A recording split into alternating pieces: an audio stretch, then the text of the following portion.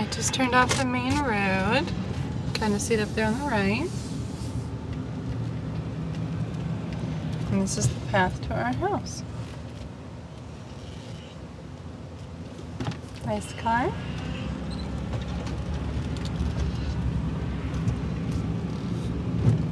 See the beautiful colors.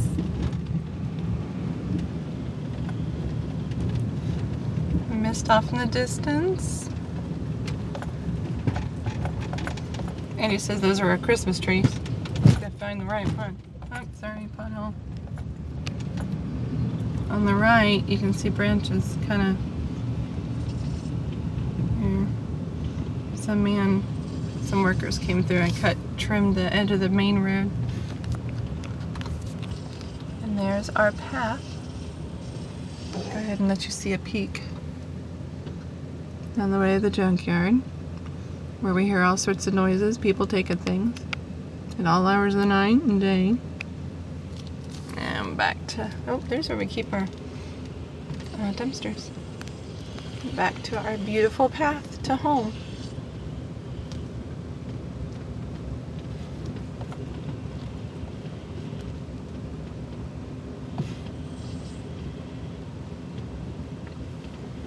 I can see why people go up to watch the leaves change. Make special trips for that.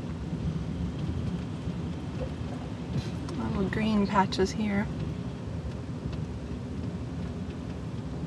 Even our big pile of shrubs and branches are colored in leaves.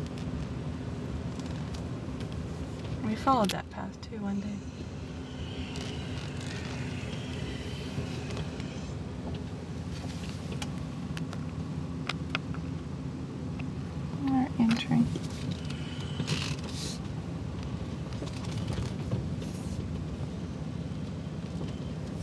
This area down here is what Chris and I refer to as our myth mystical place. No, Kiri and I.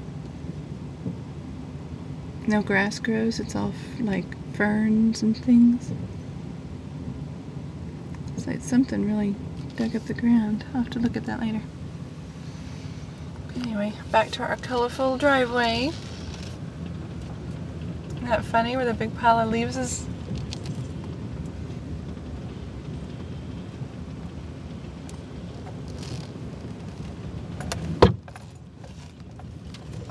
Ignore that sound. That was the sound of the mirror hitting the fence. See over there on the left? The beautiful color over there on the left? Uh, the plus on the tree over there is for them to go back and cut it down later. There's my home. And yes, we still have apple tr-